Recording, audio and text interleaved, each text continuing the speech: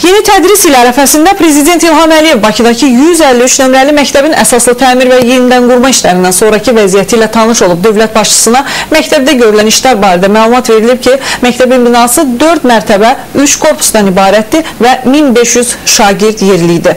Yeni tədris ili ərəfəsində məktəbin e, bütün sinif otaqları, ayrı-ayrı fən kabinələri əsaslı şəkildə təmir edilib, lazım avadanlıq və ləvazimatlarla təchiz olunub. Bütün bu işlər xüsusi dövlət proqramına əsasən həyata keçirilir. Həmin proqrama görə ölkənin hər yerində olduğu kimi paytaxt Bakıda da orta məktəb binalarının yüksək standartlara uyğun yenidən qurulması və zəruri avadanlıqla təchiz edilməsi nəzərdə tutulur.